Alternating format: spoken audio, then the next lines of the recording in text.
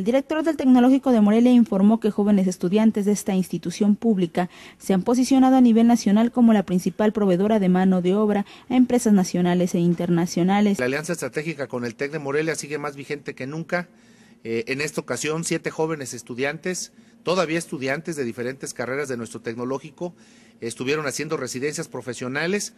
y el Tecnológico de Morelia se posicionó como la institución que más estudiantes recibió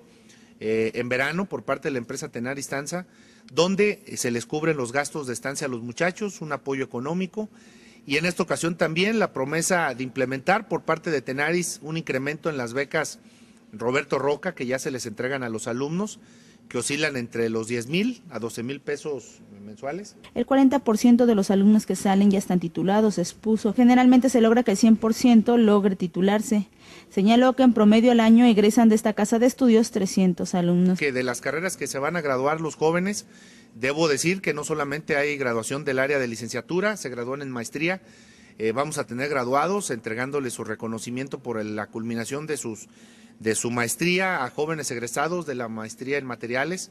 en, eléctrica, en electrónica, eh, a graduados del doctorado de eléctrica y de las 11 carreras de licenciatura que tiene nuestro tecnológico, sumada a las dos carreras de la modalidad abierta, que es administración y contabilidad, que suman un poquito más de 300 egresados.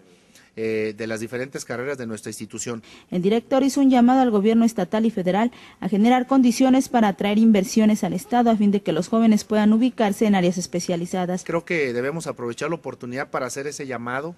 eh, al sector empresarial, eh, pero sobre todo también al gobierno federal y estatal, pues para que se pueda dar la posibilidad de atraer algunas empresas al Estado y permitir, porque creo yo que uno de los puntos importantes para que una empresa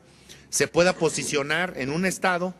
esa parte de los beneficios fiscales y de los beneficios económicos que puedan dar el municipio, el Estado o la Federación, que exista mano de obra calificada. El Instituto Tecnológico de Morelia es una de las instituciones que se ha convertido en proveedora de mano calificada a empresas nacionales e internacionales. Para Noticiero Nuestra Visión, América Juárez Navarro.